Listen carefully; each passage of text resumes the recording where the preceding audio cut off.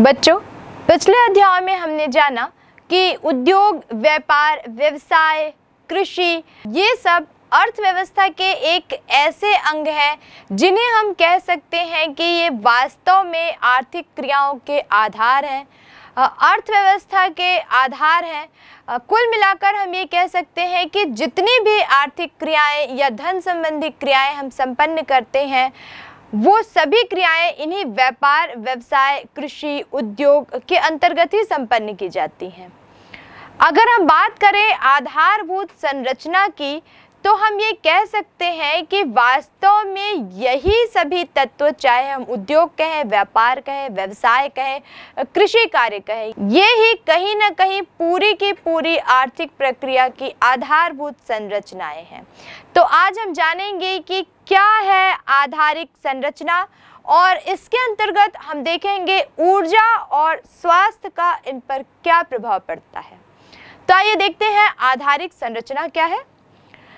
आधारिक संरचना, अगर हम सीधे सीधे शब्दों में कहें तो किसी भी देश के आर्थिक विकास का आधार है। किसी भी देश के आर्थिक विकास के लिए जो सहयोगी तत्व होते हैं वो जो कार्य करते हैं, उनको हम आधारिक संरचनाओं के अंतर्गत शामिल कर लेते हैं। अगर एक पारिभाषिक रूप में हम आधारिक संरचना को जानना चाहें तो हम ये कह सकते हैं कि एक ऐसी संरचना जिसके द्वारा कृषि, उद्योग, व्यापार, वाणिज्य ये सभी मुख्य उत्पादन क्षेत्र के कई प्रकार की सेवाओं और कार्यों को शामिल किया जाता है। ये पूरी की पूरी जो प्रक्रिया होती है, वो आधारिक संरचनाओं के अंतर्गत आती है। अब अगर हम बात करें इन आधारिक संरचनाओं में कौन कौन से कार्य कौन कौन से तत्व आते हैं और इनका किस प्रकार प्रभाव प्रत्यक्ष और अप्रत्यक्ष रूप से आर्थिक क्रियाओं पर पड़ता है तो यहाँ पर हम इनको दो भागों में बांट कर देखते हैं।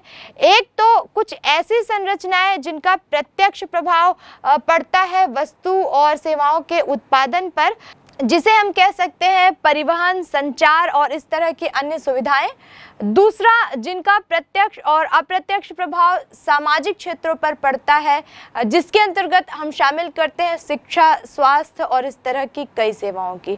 तो कुल मिलाकर, चाहे वो सड़क बनाने से संबंधित हो, बाँध बनाने से संबंधित हो शिक्षा के क्षेत्र में किसी कार्य से संबंधित संबंधित हो परिवहन से संबंधित हो, ये सारे जो कार्य आते हैं, किए जाते हैं, ये आधारिक संरचनाओं के अंतर्गत आते हैं। वास्तव में जब हम आधारिक संरचनाओं की बात करते हैं तो हम ये देखते हैं कि कहीं ना कहीं इसका सीधा सीधा संबंध पूंजीगत संरचनाओं से भी होता है। कहीं ना कहीं ये आर्थिक विकास की बात करते हैं या आर्थिक क्रियाओं से संबद्ध होते हैं। फिर भी हम एक नज़र डालें तो हम देखते हैं कि आधारिक संरचना और पूंजीगत संरचना अपने आप में भिन्न भिन्न है। बात अगर हम करते हैं आधारिक संरचना की तो यहाँ पे हम देखते हैं कि वो सभी सेवाएँ इसके अंतर्गत शामिल होती है, जो वास्तव में आर्थिक क्रियाओं के अंतर्गत आती है और उसका मुख्य कार्य ही आर्थिक क्षेत्र का विकास करना होता है। जैसे यहाँ पर हम देखते हैं कि उद्योग, वाणिज्य, व्यापार से संबंधित जो क्रियाएँ होती हैं, चाहे उद्योगों के लिए परिवहन व्यवस्था को सुचारू बनाना ऊर्जा के विकल्प खोजना, या इस तरह की अन्य कई क्रियाएँ आधारिक संरचना के अंतर्गत आती हैं। लेकिन जब हम बात करते हैं पूंजीगत संरचना की तो इसके अंतर्गत हम देखते हैं कि पूंजीगत संरचना में मशीनें जो आती हैं, बड़े उपकरण जो आते हैं बड़े परिवहन के जो साधन जो आते हैं, इसके अंतर्गत हम शामिल करते हैं। वास्तव में पूंजीगत संरचनाओं के अंतर्गत उन सभी वस्तुओं को शामिल किया जाता है जो आधारभूत संरचनाओं के निर्माण का आधार बनते हैं। तो कहीं ना कहीं ये अपने आप में दोनों एक अलग अलग अवधारणाएँ हैं। इसी तरह से अगर हम आधारिक संरचना के प्रकार को देखें तो इसके प्रकार को हम यहाँ पर दो भागों में बांटकर हम इसका इसके अर्थ को जानते हैं। अगर हम देखें कि वास्तव में आर्थिक आधारित संरचना क्या है तो इसके अंतर्गत हम देखते हैं कि इसमें उन सभी तत्वों को शामिल किया जाता है जो आर्थिक विकास में सहायक है। जैसे कि अभी तक हम देखते आ रहे हैं, चाहे वो ऊर्जा से संबंधित हो, स्वास्थ्य से संबंधित हो, परिवहन से संबंधित हो या अन्य किसी उद्योग, व्यापार या व्यवसाय के सहायक क्रियाओं के रूप में कार्य करता हो। लेकिन दूसरा, जब हम बात करते हैं सामाजिक संरचना की तो इसमें उन सभी तत्वों को शामिल कर लिया जाता है जो समाज के विकास के लिए आवश्यक होती हैं। जैसे हमने पहले भी देखा, शिक्षा की जो क्षेत्र में किए जा रहे जो कार्य हैं, परिवहन के क्षेत्र में, स्वास्थ्य के क्षेत्र में जो किए जा रहे कार्य हैं, सामाजिक सुधार के क्षेत्र में जो किए जा रहे कार्य हैं, ये सब के सब कार्य सामाजिक संरचना के अंतर्गत आते हैं। तो ये तो थी आधारिक संरचना और सामाजिक संरचना के अर्थ की बात, अगर हम इसमें अंतर ढूँढने की कोशिश करें तो कुछ अंतर भी हमको दिखाई देते हैं। आइए देखते हैं कि आधारिक संरचना और सामाजिक संरचना में क्या अंतर है। आर्थिक एवं सामाजिक आधारिक संरचना में अंतर, पहला, आर्थिक आधारिक संरचना में तत्व प्रत्यक्ष रूप से सहायक होते हैं, जबकि सामाजिक आधारिक संरचना में अप्रत्यक्ष रूप से। आर्थिक आधारित संरचना में उत्पादकता में वृद्धि होती है। फलस्वरूप उत्पादन लागत में कमी आती है, जबकि सामाजिक आधारित संरचना से मानव संसाधन की गुणवत्ता में सुधार आता है। फलस्वरूप मनुष्य के कार्य क्षमता में वृद्धि होती है। तीसरा, आर्थिक आधारित संरचना पर किए गए व्यय से भौतिक पूंजी में वृद्धि होती है, जबकि सामाजिक आधारित संरचना पर व्यय से मानव पूंजी का निर्माण होता है। अंतर के आधार पर हमने जाना कि आधारिक संरचना और सामाजिक संरचना दोनों अपने आप में पृथक पृथक है। अगर हम बात करें आधारिक संरचना के महत्व की, कि वास्तव में इनका क्या महत्व क्यों है, ये ज़रूरी, आइए इस पर एक नज़र डालें। तो सबसे पहले हम देखते हैं कि आधारिक संरचना जो है, वो पूरे के पूरे कृषि कार्य का एक अभिन्न अंग है। कृषि विकास में ये सहयोगी होती हैं। चाहे हम बात करें कृषि क्षेत्र के विकास के लिए उन्नत बीजों की, उर्वरकों की, खाद की या बड़ी मशीनों की तो ये सारे जो कार्य हैं, वो कहीं ना कहीं आधारिक संरचना की क्रियाओं के फलस्वरूप ही संभव हो पाते हैं। दूसरा, अगर हम इस पर एक महत्व पर एक नज़र डालें तो हम देखते हैं कि उद्योगों का जो विकास है, वो भी आधारिक संरचना के अंतर्गत एक महत्वपूर्ण तत्व के रूप में शामिल किया जा सकता है। उद्योगों के विकास के लिए परिवहन सुविधा मुहैया कराना या कच्चे माल की आपूर्ति, कच्चे माल की उपलब्धता सुनिश्चित करना, ये सारे जो कार्य हैं आधारिक संरचनाओं के अंतर्गत आते हैं। तीसरे इसके महत्व की हम बात करें तो हम यहाँ पर हम देखते हैं कि उत्पादन में वृद्धि का जो प्रयास है, चाहे वो कृषि क्षेत्र की उत्पादकता की बात हो, किसी औद्योगिक क्षेत्र की बात हो, कल कारखानों में उत्पादकता के वृद्धि की बात हो सभी के सभी जो क्रियाएँ होती है, वो कहीं ना कहीं आधारिक संरचना से ही संबद्ध होती है। उत्पादन वृद्धि के लिए कच्चा माल उपलब्ध कराना, परिवहन की सुविधा, श्रम की सुविधा उपलब्ध कराना ये सारी की सारी जो चीज़ें होती है, वास्तव में यही आधारिक संरचना यानी कि इंफ्रास्ट्रक्चर के माध्यम से ही ये तय किया जाता है। तो कहीं ना कहीं उत्पादन वृद्धि का भी ये आधार बनती है। साथ ही एक बिंदु यहाँ पर यह देखने मिलता है कि निवेश को प्रोत्साहन मिलता है। ज़ाहिर सी बात है कि जब उत्पादन में वृद्धि होगी तो वो आर्थिक विकास की जो क्रियाएँ हैं वो बहुत तीव्र गति से आगे बढ़ेंगी और ये एक ऐसी दशा बनती है, जब लोग निवेश करना चाहते हैं तो निवेश में भी वृद्धि का एक आधार आधारिक संरचना बनती है। साथ में एक महत्वपूर्ण बात यहाँ पर यह देखने को मिलती है कि लोगों के जीवन स्तर में सुधार होता है। बात करें, अगर हम एक गुणवत्ता युक्त जीवन स्तर की तो हम देखते हैं कि अगर उनकी आय अच्छी है तो वो अपनी अब सभी आवश्यकताओं को, चाहे वो अनिवार्य आवश्यकता हो, आरामदायक हो, या विलासितापूर्ण आवश्यकता हो, सभी आवश्यकताओं को वो पूरा कर पाते हैं और अपने जीवन स्तर को गुणवत्ता युक्त एक अच्छा जीवन स्तर वो प्राप्त कर पाते हैं।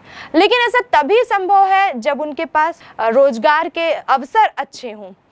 और रोज़गार के अवसर को कहीं ना कहीं हम इन्हीं आधारित संरचनाओं से कनेक्ट करते हैं जोड़कर देखते हैं जबकि उत्पादकता में वृद्धि करने के लिए प्राकृतिक संसाधनों का समुचित दोहन करने के लिए आ, हम जब इस तरह के कार्य करते हैं तो कहीं ना कहीं है इससे बेरोजगारी की समस्या भी दूर दूर होती है और रोज़गार के जो अवसर है वो लोगों को प्राप्त होते हैं। इसी तरह एक बिंदु यहाँ पर हम देखते हैं कि वित्त की आपूर्ति भी होती है। बाज़ार बहुत अच्छा जब होता है, ग्रोथ करता है तो उस कंडीशन में पूंजी भी अगर पूंजी की भी आवश्यकता होती है तो बहुत आसानी से वो पूर्ति हो जाती है। चाहे वो ऋण के माध्यम से हमने बहुत सारे अलग अलग प्रकार भी देखे हैं कि कहाँ कहाँ से एक उत्पादक जो होता है वो पूंजी की व्यवस्था करता है। तो कहीं ना कहीं ये भी एक आधारिक संरचना के आधार ही बनते हैं। वित्त की पूर्ति भी बहुत आसानी से इसके अंतर्गत होती है। साथ में बाज़ार का विस्तार भी होता है, ये हमने पहले भी जाना कि अगर उद्योग बहुत अच्छे से संचालित हो रहे हैं सभी को रोज़गार मिल रहा है, उत्पादन अच्छे से हो रहा है, इसका मतलब ये है कि बाज़ार में वस्तु की जो मांग है, उसमें वृद्धि हो रही है, लोगों के पास आय है, रोज़गार है तो ज़ाहिर सी बात है वो वस्तु की मांग करेंगे। और जैसे जैसे वस्तु की मांग करते जाएँगे वैसे वैसे प्रत्येक उत्पादक जो है वो चाहता है कि ज़्यादा से ज़्यादा वो अपनी वस्तु का उत्पादन कर सके और लोगों को पूर्ति कर सके। तो ये मांग और पूर्ति का समायोजन, लोगों के आय के स्तर का बढ़ना, उनकी क्रय शक्ति का बढ़ना, ये सारी दशाएँ ऐसी है जो ये बताती है कि वास्तव में बाज़ार की जो दशा है वो काफ़ी अच्छी है। इन्हीं आधारिक संरचनाओं के अंतर्गत हम बात करेंगे ऊर्जा और स्वास्थ्य की। ऊर्जा, पावर, शक्ति। नाम से स्पष्ट है कि इसके अभाव में देश का कोई भी कार्य, कोई भी विकास कार्य शायद संभव नहीं हो पाएगा। चाहे हम शिक्षा के क्षेत्र में देखें, चाहे स्वास्थ्य के क्षेत्र में देखें, चाहे किसी भी घरेलू कार्यों के क्षेत्र में भी जब हम देखते हैं तो हम ये पाते हैं कि ऊर्जा के बिना कोई भी कार्य संभव नहीं है या सुचारू रूप से कोई भी कार्य नहीं किया जा सकता है। यहाँ पे हम देखते हैं कि किसी भी देश के विकास में जो ऊर्जा शक्ति है, वो बहुत महत्वपूर्ण भूमिका निभाती है। जिस देश में ऊर्जा के पर्याप्त स्रोत नहीं है वो देश बहुत धीमी गति से विकास करता है और जहाँ पर ऊर्जा के पर्याप्त साधन है वहाँ का जो विकास का स्तर है, वो बहुत तेज़ी से ऊपर उठता है। ऊर्जा की अगर हम बात करें तो यहाँ पर देखते हैं कि हमने व्यापार, उद्योग, व्यवसाय, वाणिज्य की बात कही, कृषि उत्पादन की बात कही तो ये सारे क्षेत्र ऐसे हैं जो कहीं ना कहीं ऊर्जा से ही जुड़े हुए हैं। यानी इनका जो संचालन है, वो ऊर्जा से ही हो पाता है। तो अगर ऊर्जा की पर्याप्त उपलब्धता है तो व्यापार, व्यवसाय, वाणिज्य उद्योग और कृषि संबंधित सभी क्षेत्र बहुत अच्छे से फलते फूलते हैं और बहुत अच्छे से विकास करते हैं। यहाँ पर हम देखें कि ऊर्जा का महत्व क्या है तो बहुत ज़्यादा इसके बारे में बताने की आवश्यकता नहीं है। एक तो कुल मिलाकर सीधे सरल शब्दों में हम कह सकते हैं कि ऊर्जा किसी भी देश के आर्थिक विकास का आधार है। जैसे कि हमने पहले भी देखा, चाहे औद्योगिक क्षेत्र हो, कृषि क्षेत्र हो या घरेलू क्षेत्र, सभी जगह आप अपने आसपास भी देख रहे हैं कि बिना ऊर्जा के कोई भी कार्य संभव नहीं हो पाया है। दूसरा, अगर हम इसको जोड़ के देखें सेवा क्षेत्रों से तो हम देखते हैं कि चाहे बैंकिंग हो, बीमा हो या अन्य सेवा क्षेत्र हो, सभी क्षेत्रों में ऊर्जा की पर्याप्त आवश्यकता महसूस की जाती है। तो बात करें हम ऊर्जा के प्रकार की तो यहाँ पर हम ऊर्जा के प्रकार को दो भागों में बांटते हैं, एक व्यवसायिक ऊर्जा और दूसरा गैर व्यवसायिक ऊर्जा। जब हम बात करते हैं व्यवसायिक ऊर्जा की तो यहाँ पर हम उन सभी ऊर्जा को शामिल करते हैं जिनके उपयोग के बदले में हमें एक निश्चित कीमत चुकानी होती है। जैसे हम प्रयोग करते हैं पेट्रोल का, डीजल का, बिजली का तो ये सभी व्यवसायिक ऊर्जा के अंतर्गत आते हैं और इनके उपयोग के बदले हमें एक निश्चित कीमत अदा करनी पड़ती है। दूसरा बात करते हैं हम गैर व्यवसायिक ऊर्जा की, जिससे हमको हालाँकि ऊर्जा तो मिलती है, लेकिन कहीं ना कहीं उनका जो स्रोत है वो प्राकृतिक है। उसके लिए हमको अलग से पैसे देने की ज़रूरत नहीं पड़ती। इसके अंतर्गत हम शामिल करते हैं प्राकृतिक संसाधन, जिसमें लकड़ी आता है, कोयला आता है, गोबर गैस आता है और साथ ही साथ हम देखते हैं सबसे महत्वपूर्ण जो आजकल हम प्रयोग कर रहे हैं, सूर्य का प्रकाश। तो ये जो गैर व्यवसायिक और व्यवसायिक दोनों ही प्रकार की ऊर्जा है, दोनों अपने आप में काफ़ी महत्वपूर्ण है और दोनों ही आर्थिक विकास का आधार है। बस बात ये है कि हम इनका किस प्रकार से सदुपयोग कर पाते हैं। तो इसके साथ साथ हम ऊर्जा के परंपरागत स्रोतों पर एक नज़र डालें तो सबसे पहले हमको दिखाई देता है यहाँ पर कोयला।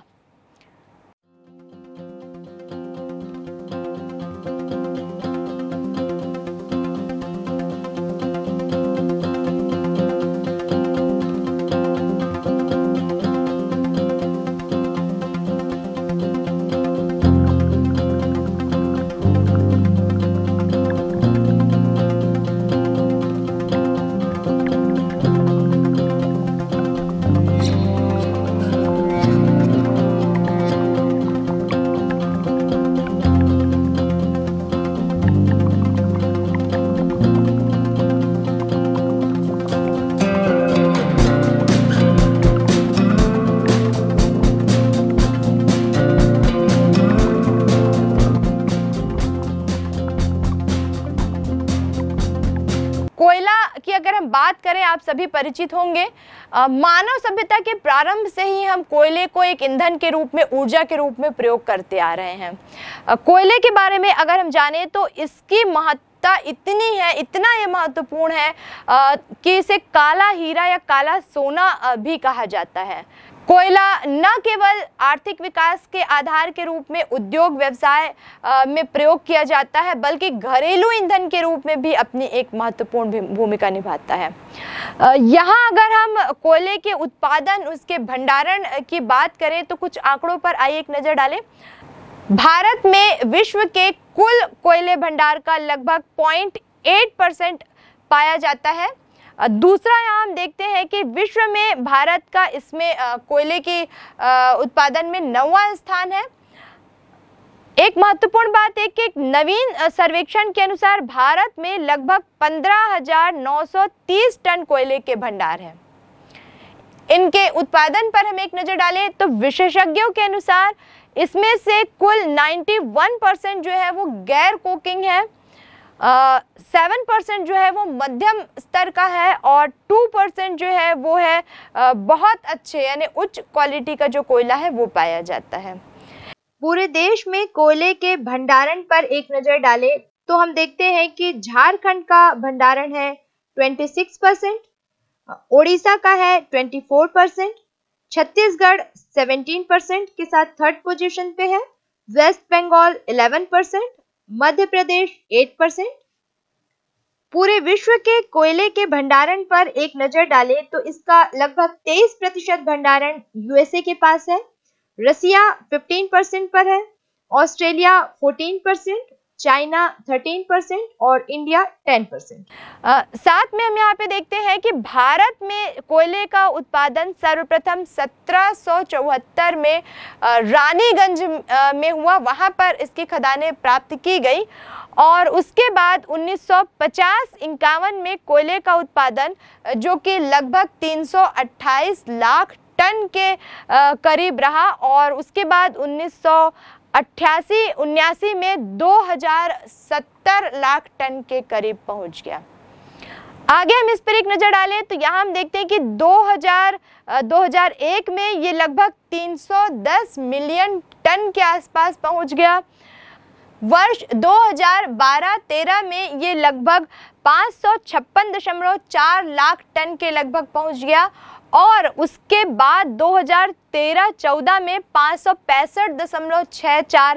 लाख टन के लगभग इसका उत्पादन पहुँच गया। तो इन आंकड़ों पर जब हम एक नज़र डालते हैं तो हम देखते हैं कि लगातार इसकी उत्पादकता में, इसकी प्राप्ति में वृद्धि होती गई। लेकिन क्योंकि जनसंख्या भी बढ़ती गई, इसका उपयोग भी बढ़ता गया, चाहे वो औद्योगिक क्षेत्र हो, चाहे वो घरेलू क्षेत्र हो, सभी जगह एक ईंधन के रूप में क्योंकि इसका प्रयोग किया जाता रहा तो उत्पादकता में वृद्धि के बाद भी अभी तक हम उस स्तर को प्राप्त नहीं कर पाए हैं जहाँ पर पूरी की पूरी इसकी उपयोगिता सुनिश्चित की जा सके या जहाँ हम ये मान सके कि जितनी कोयले की आवश्यकता थी, उतना उत्पादन हमने यहाँ पर प्राप्त किया है। तो इसके आधार पर हम ये कह सकते हैं कि अभी भी कोयले की जो कमी है, वो बनी हुई है। दूसरा एक जो परंपरागत स्रोत है, उसे हम कह सकते हैं खनिज तेल और पेट्रोलियम। अब बात अगर हम करें खनिज तेल पेट्रोलियम की तो ये बिल्कुल सही है कि कोयले की तरह ही खनिज तेल और पेट्रोलियम भी किसी भी देश के विकास का आधार है।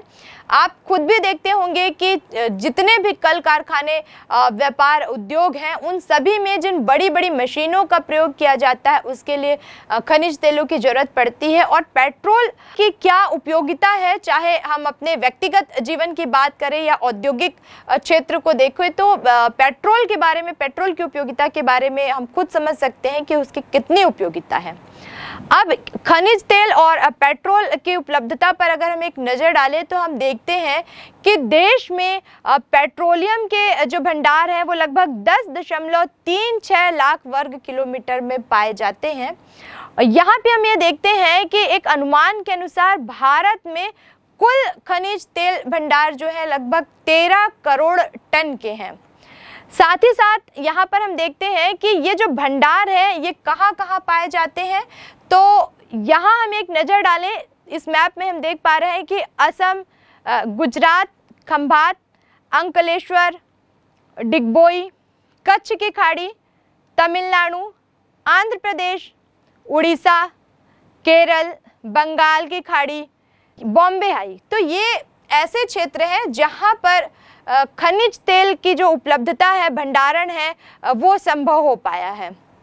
तो भारत में अगर हम इसकी उपलब्धता देखें तो हम देखते हैं कि भारत में तेल स्रोत सर्वप्रथम 1866 में देखा गया और अगर इसके निकालने की कि किस तरह इसको हमने प्राप्त करना शुरू किया, इसकी हम बात करें तो यहाँ हम देखते हैं कि सर्वप्रथम अठारह सौ अड़सठ में सबसे पहले असम से इसको निकाला गया और ये जब काम शुरू किया गया तो 1890 में बोर झील के निकट एक तेल का भंडारण पाया गया और यहाँ पर तेल निकालने का जो काम था वो असम ऑयल कंपनी को सौंपा गया और उसके बाद फिर धीरे धीरे जो तेल के भंडारण थे उनका पता चलता गया और उसकी प्राप्ति हमको होती गई।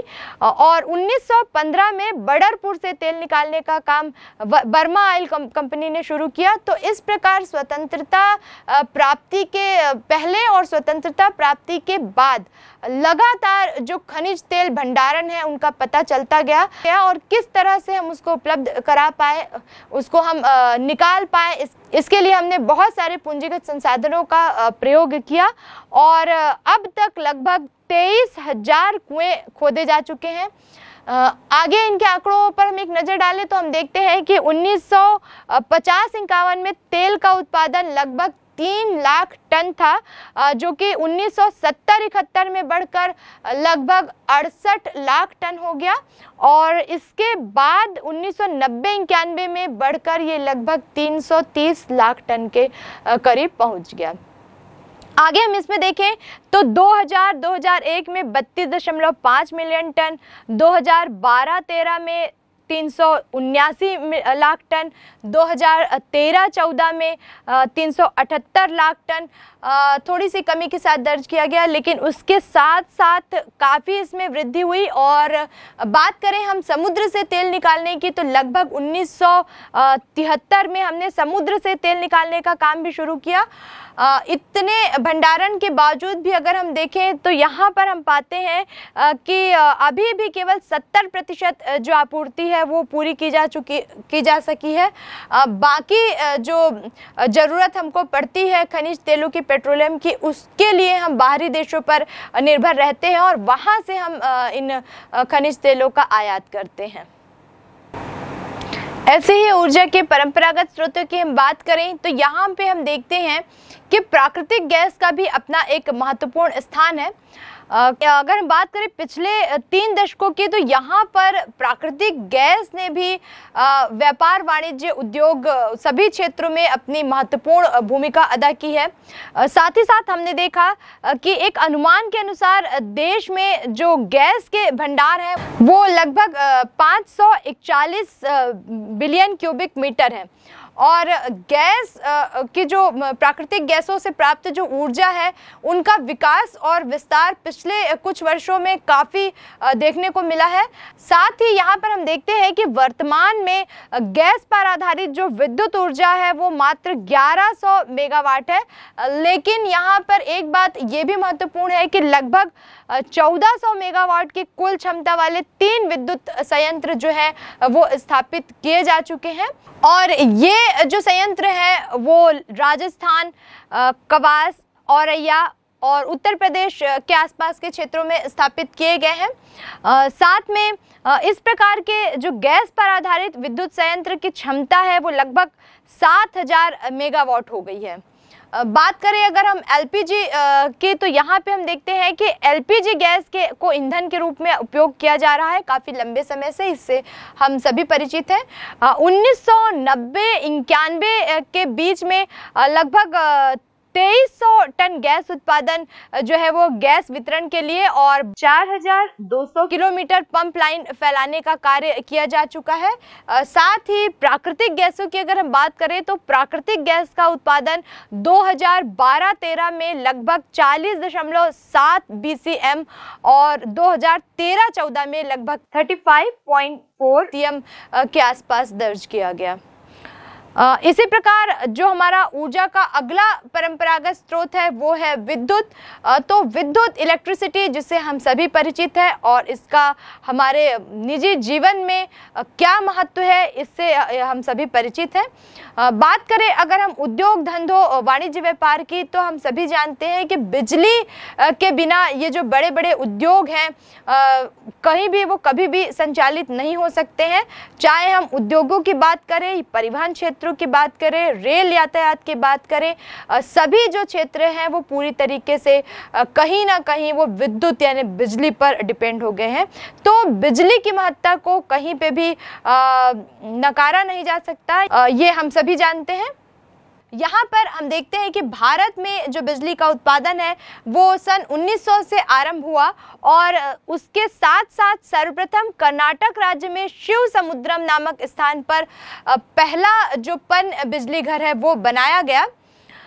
एक महत्वपूर्ण बात यह है कि सन 1947 में इसकी जो उत्पादन क्षमता थी, वो केवल 19 लाख किलोवाट थी, जो कि सातवीं पंचवर्षीय योजना के आसपास तक बढ़कर लगभग छह लाख मेगावाट तक हो गई थी।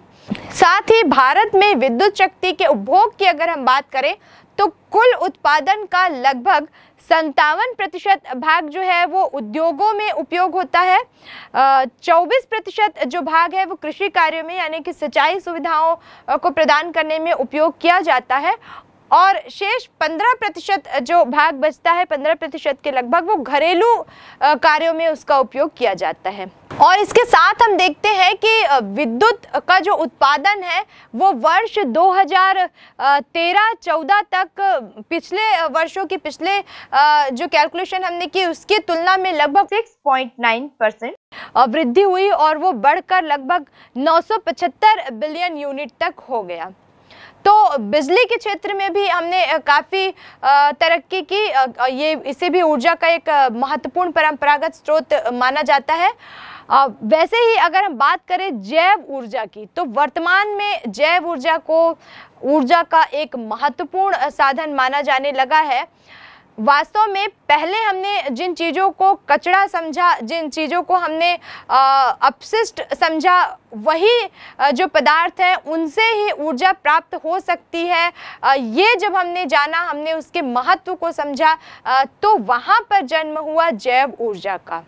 अब जबकि वैज्ञानिकों ने ये बात जान ली कि कितना महत्वपूर्ण है जैव ऊर्जा और ऊर्जा के क्षेत्र में ये कितना महत्वपूर्ण स्थान रखता है तो यहाँ से बायोगैस और सामुदायिक बायोगैस के बारे में लोगों ने जाना और साथ ही साथ जाना कि ये जो गैसें हैं, उनका उपयोग हम खाना पकाने बिजली व्यवस्था करने और अन्य कई कार्यों में कर सकते हैं। जैव ऊर्जा के इसी महत्व को समझते हुए सन 2000-2001 तक कुल 32 लाख बायोगैस प्लांट जो है वो देश में लगाए जा चुके थे। इसका प्रभाव ये पड़ा कि इससे देश में लगभग प्रति वर्ष उनचालीस लाख टन लकड़ी जो है उसकी बचत होने लगी क्योंकि जो ग्रामीण क्षेत्र है जहाँ पर एलपीजी की उपलब्धता सुनिश्चित नहीं हो पाई थी, वहाँ के लोग घरेलू ईंधन के रूप में मुख्य रूप से लकड़ी का प्रयोग करते थे। बायोगैस की उपलब्धता होने के बाद एक बहुत महत्वपूर्ण सुधार यहाँ पर ये आया कि लगभग उनचालीस लाख टन लकड़ी की बचत प्रतिवर्ष होने लगी। ठीक इसी प्रकार इसका एक लाभ ये भी मिला कि शहर, गाँव के आसपास के क्षेत्र कचड़ों से मुक्त होने लगे क्योंकि इनका प्रयोग धीरे धीरे बायोगैस प्लांट लगाकर, जैव ऊर्जा के प्लांट लगाकर, इन सभी अपशिष्ट पदार्थों का जो उपयोग है वो खाद के रूप में, उर्वरक के लिए और गैसों के लिए इनका उपयोग किया जाने लगा। तो ये एक महत्वपूर्ण बात दिखाई दी। और इसके महत्व को समझते हुए अब तक लगभग देश में 530 ऐसे संयंत्र बनाए जा चुके हैं जहाँ से इन अपशिष्ट पदार्थों का प्रयोग करते हुए इनका सदुपयोग किया जा सके गैस के रूप में, खाद के रूप में, उर्वरकों के रूप में। हमने जाना कि ऊर्जा के परंपरागत स्रोत कौन कौन से हैं, उनके क्या लाभ हैं और देश ने इन स्रोतों को प्राप्त करने, उनका उपयोग करने के क्षेत्र में कितनी प्रगति की है।